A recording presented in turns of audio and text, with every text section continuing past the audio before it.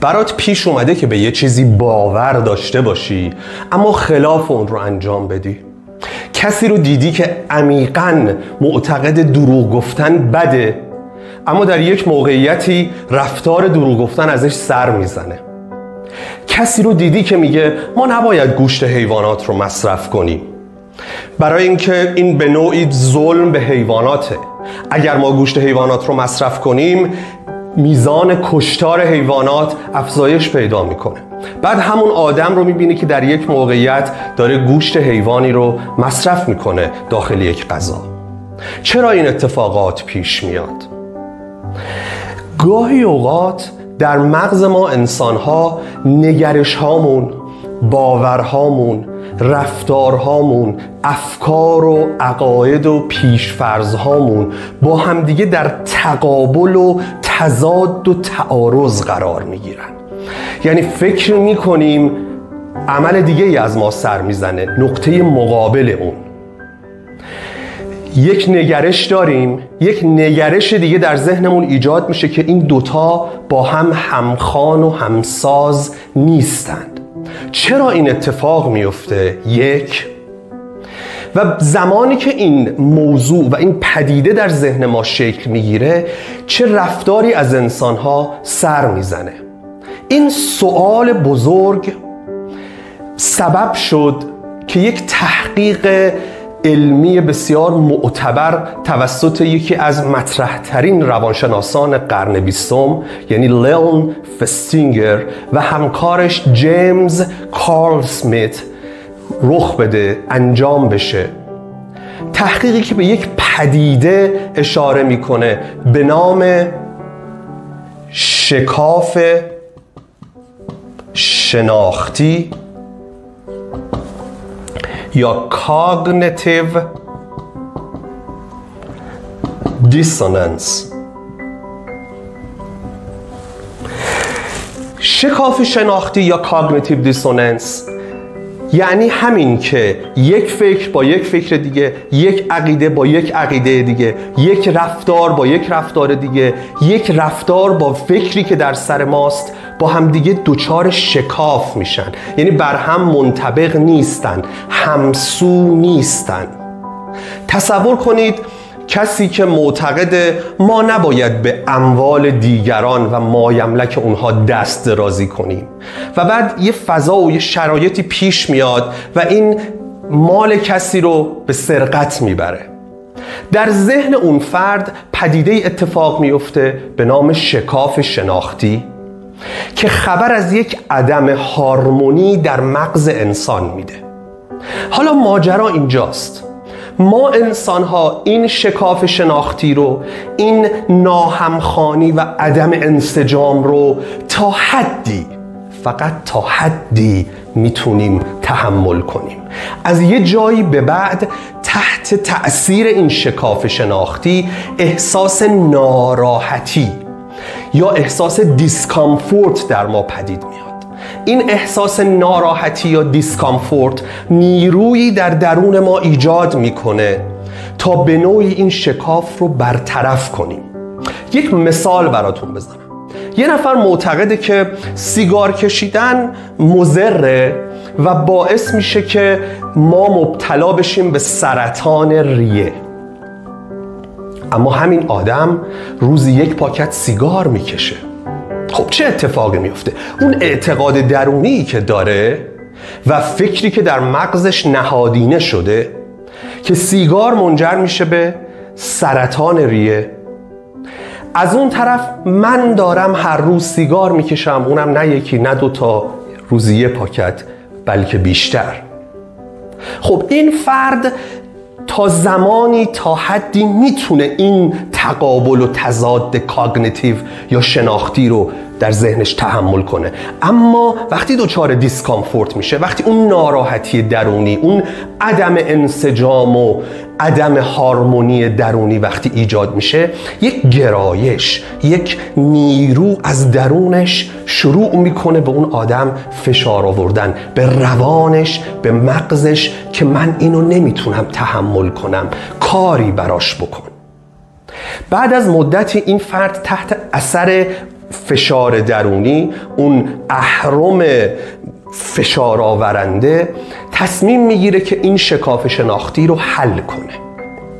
خب برای حل کردن این شکاف شناختی چند راه وجود داره.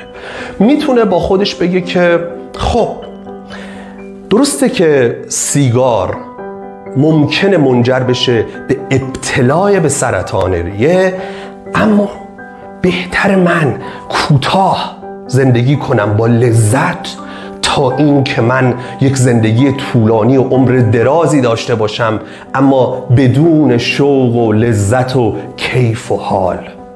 خب یعنی چه کار کرده؟ یک فکر یک عقیده جدیدی رو آورده در کنار اون فکر قبلی نشونده تا این شکاف رو به نوعی از بین ببره.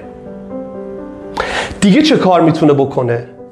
برای اینکه فشار درونی یا اون نیروی شکاف شناختی رو بتونه تحمل کنه یا کاهش بده اون ناراحتیش رو از بین ببره یا دست کم به حداقل برسونه می‌تونه سیگار رو ترک کنه.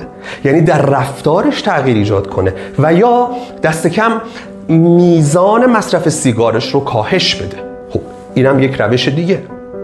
یه روش سوم می‌تونه به جای حمله کردن به این رفتارش یا به جای ورود یک باور یا عقیده دیگه که زندگی با لذت کوتاه بهتر از زندگی دراز بی لذته می‌تونه اون باور یا اون فکر عقیده فرض که سیگار من رو مبتلا می‌کنه به سرطان ریه رو به نوعی در ذهنش پاک کنه یا خفیف کنه یا از بین ببره. مثلا با خودش فکر می‌کنه میگه خب درسته خیلی این رو میگن که سیگار می‌تونه منجر بشه به سرطان ریه اما از کجا معلوم این درست باشه؟ مگر علم اینو ثابت کرده؟ اصلا کو پژوهشی مطالعه ای نظریه ای کار علمی دقیقی که ثابت کرده باشه حتما سیگار انسان رو مبتلا می‌کنه به سرطان ریه. پس به نوعی این فکر رو در ذهنش خفیف می‌کنه. تا بتونه کمی به آرامش درونی برسه. لئون فستینگر و جیمز کارل سمیت یک تحقیق و مطالعه جذاب و جالب انجام دادن. اینها اومدن 71 نفر رو در روزی دعوت کردن به یک ساختمانی که مطالعه اونجا انجام می‌شد. به این 71 نفر می‌گفتن که شما قراره برید داخل یک اتاق و یک ساعت با یه وسیله بازی کنید. هر فرد وارد اتاق میشه. یک میزی هست تخته ای هست. روی اون تخته قطعاتی چوبی قرار گرفته که این فرد کاری که می‌تونه با اون قطعات بکنه به مدت یک ساعت اینه که این قطعات رو روی تخته روی میله هایی که هست مثلا جابجا جا کنه با اینا بازی کنه با بعضی از این قطعات ور بره جاهاشون رو عوض کنه. نهایتا همین. خب طبیعیه که این رفتار این به اصطلاح بازی فوق العاده خسته کننده است ملال آور کسالت باره اما اون فرد قبول کرده که در این تحقیق شرکت کنه و مشارکت می‌کنه. بعد از یک ساعت فرد خارج میشه از اتاق. محققین ازش سوال می‌کنن. خب چطور بود بازی؟ جذاب بود؟ طبیعتا پاسخ فرد اینه که به هیچ عنوان. فوق العاده خسته کننده بود. میگن خب حالا ما به تو پول پرداخت می‌کنیم. تا تو به نفر بعدی که قراره بره داخل اتاق بیای توضیح بدی و بگی که این بازی فوق العاده جذابه. اون یک نفر رو دو گروه کردن. به یک گروه گفتن ما به شما نفری یک دلار میدیم. به تو یک دلار میدیم که به این آدم به دروغ بگی بازی هیجان انگیز و جذابی پیش روی توه. برو و لذت ببر. به گروه دوم گفتن که ما به تو 20 دلار میدیم. که دروغ بگی. بگی بازی جذابی در داخل اتاق انتظار تو رو می‌کشه.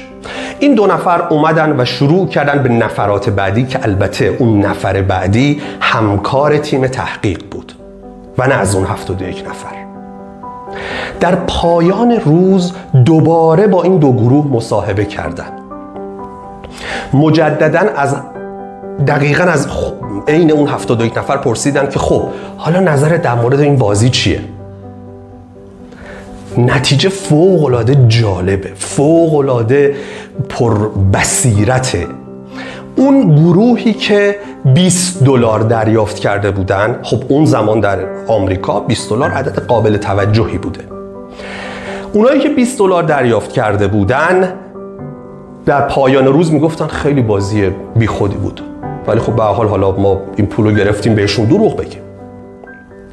اما اونایی که یک دلار گرفته بودن بابت دروغ گفتن به طرز عجیبی دیدگاهشون تغییر کرده بود. یعنی چی؟ یعنی در پایان روز وقتی که با محققین گفتگو می‌کردن صحبت می‌کردن از اینکه ما الان وقتی فکرشو می‌کنیم به این نتیجه می‌رسیم یا در طول روز به این نتیجه رسیدیم که این بازی جذابه. واجد یه سری زیبایی ها و جذابیت ها هست. مثلا اینکه ما وقتی اینها رو جابجا می‌کنیم یک الگوها یک پترن هایی شکل می‌گیره. چرا این اتفاق میفته ببینید اونهایی که یک دلار گرفته بودن و اونهایی که 20 دلار گرفته بودن. 20 دلاری ها همچنان اون باور رو حفظ کرده بودن که این بازی ملال آوره. اما یک دلاری ها در ذهنشون تغییر ایجاد شده بود. به نوعی این عبارت کلیدی که فستینگر میگه میگه ما آدم ها بلدیم به خودمون دروغ بگیم. چرا؟ چون شکاف شناختی رو نمی‌تونیم تحمل کنیم. حالا سوال اینجاست. هر دوی این گروه ها معتقد بودن که ما نباید به دیگران دروغ بگیم. اما هر دو دروغ گفته بودن. یکی در ازای دریافت 20 دلار یکی در ازای دریافت تنها یک دلار. پس چرا این اتفاق در پایان روز رخ داده بود؟ دلیلش از منظر علمی توصیفی که براش عنوان میشه توسط فستینگر و کارل سمیت اینه که اونهایی که 20 دلار گرفتن میگن ما 20 دلار گرفتیم که دروغ بگیم. خیلی خوب. به نوعی طمعی یک هرسی یک آزمندی وجود داشته منفعت بزرگی وجود داشته و من دروغ گفتم.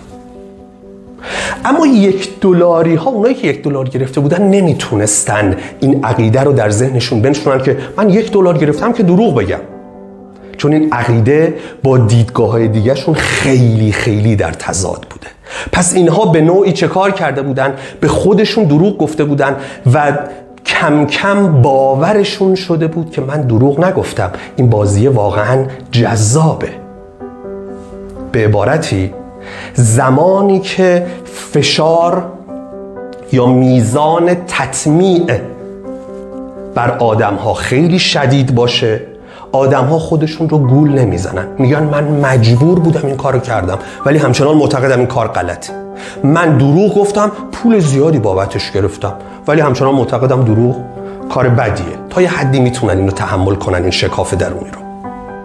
اما زمانی که میزان تطمیع منفعتی که وعده داده میشه تنبیهی که در انتظار افراده تهدیدی که متوجه اونهاست یا فشار و ارعابی که بر اونها تحمیل شده. اگر خیلی کم باشه دیگه فرد نمی‌تونه خودش رو راضی کنه و بگه که من تحت فشار این کارو کردم. من منفعت بزرگی داشتم این کارو کردم. پس چه کار می‌کنه؟ ذهنیتش رو دستخوش تغییر قرار میده. به همین خاطره که اون مقاله بسیار مهمی که در نشریه جورنال of Abnormal and Social Psychology 1959 فستینگر و کارل سمیت نوشتن به نوعی به پیامدهای این رفتارها و شکاف شناختی تحت فشار یا تطمیع و در شرایطی که فشار و تطمیع وجود نداره اشاره کردن. Consequences of forced compliance behavior. خب چه دریافت ها چه مستاق هایی میشه از این تحقیق برداشت کرد؟ شما فرض کنید که رفتید بین دو تا ماشین ماشینی رو انتخاب کردید و یک احس... مجموعه احساس درونی نسبت به اون ماشین داشتید. اما با هر کس که صحبت می‌کنید دلایل منطقی میاره که خرید شما انتخاب شما غلط بوده. خب در ذهن شما چه اتفاقی میفته؟ من این ماشین رو خریدم اما همه معتقدن رفتارم غیر منطقی بوده. پس نکنه اونا دارن درست میگن شکاف شناختی cognitive dissonance عدم هارمونی درونی ناهمخانی و ناهمسانی ذهنی روانی پدید میاد. شما چه کار می‌کنید؟ شروع می‌کنید به فکر کردن. اولا که رفتید چند ده میلیون بلکه چند صد میلیون پول دادید یه ماشین خریدید. نمی‌تونید این رفتار رو به سرعت عوض کنید. پس میرید سراغ افکارتون. حتی حافظتون اینجا به یاری شما میاد. حافظتون چه کار می‌کنه؟ نکات منفی انتخاب شما رو کم رنگ می‌کنه نکات مثبتش رو پر رنگ می‌کنه. نکات منفی اون آلترناتیو دیگر رو پررنگ می‌کنه نکات جذاب و مثبتش رو کمرنگ می‌کنه. و زمانی که شما بین دو تا گزینه گزینه که جذاب نیست از منظر حالا بگیم اقلانی منطقی یا از دید دیگران یا کسانی که شما برای اونها ارزش و اعتبار قائل هستید. وقتی اون دو تا گزینه گزینه بدتر از دید اونها رو شما انتخاب می‌کنید پدیده اتفاق میفته تحت عنوان spreading alternatives. یعنی شما این دوتا رو به جای اینکه بیاید با هم دوباره در کنار هم مقایسه کنید از هم جدا می‌کنید. و نیرو و بار ذهنی که به هر کدوم اختصاص می‌دید متفاوت میشه. یکی رو تقریبا سعی می‌کنید به فراموشی بسپرید و نکات منفیش رو bold کنید highlight کنید پررنگ کنید. اون یکی نکات جذابش رو. خب به رفتارهامون می‌تونیم از این به بعد فکر کنیم. کجاها تحت فشاریم کجاها رفتار غلطی رو داریم انجام میدیم اما خودمون کم کم باور کردیم و به خودمون دروغ گفتیم. حتی در اجتماعات در سازمان ها فردی انسانی رو می‌کشه. بهش میگن چرا مرتکب قتل شدی؟ خب نباید به کسی زور گفت نباید حق حیات رو از کسی گرفت. از این طرف من کسی رو کشتم. دو فکر که با هم همخوان نیستن. پس این قاتل شروع می‌کنه به نوعی رشنالایز کردن توجیه کردن و این افکار رو با هم منطبق کردن. میگه اون آدم به نظر من برای جامعه مخرب بود حضورش. و من حضور نحسش رو پاک کردم از جامعه. یا تصور کنید چرا زمانی که اون معزل روغن پالم در جامعه ما حرفش اینجا و اونجا شنیده می‌شد و در تمام نشریات منتشر می‌شد از مدیر از صاحب یکی از کارخونه ها پرسیدن شما روغن پام دارید استفاده می‌کنید. پاسخ ایشون این بود که من اگر این کار رو نکنم 300 تا خانواده چون 300 تا کارمند در استخدام اون آدم و اون شرکت بودن 300 تا خانواده بیکار میشن 300 تا خانواده بدبخت میشن. شما می‌خواید همچی چیزی رو؟ خب ببینید چه اتفاقی میفته ما آدم ها با افکار جایگزین گاهی وقتها خودمون رو گول می‌زنیم. خیلی اوقات رسانه این کار رو با ما می‌کنه. حواسمون باشه که ذهنیات ما کدوم اصیله کدوم از بیرون اومده. کدوم ها با هم در تضاده چه رفتار غلطی رو احیانا داریم انجام میدیم. اما متوجه فرایند درونی این لولینگ یا همسط سازی نیستیم. پایش خودمون کمک کردن به دیگران در پایش و مانیتور و کنترل کردن رفتار و افکارشون می‌تونه به خودمون و به جامعه کمک کنه. که هم آدم های اصیل تری باشیم هم متوجه رفتارهای منفی و مخرب بیشتر و بهتر بشیم هم جلو شستشوی مغزی احیانا یا اعمال افکاری که به صورت نامحسوس و ناملموس آدمها رو به سمت انتخابهای بد سوق میده مراقب اونها باشیم و جلوی اونها رو بگیریم.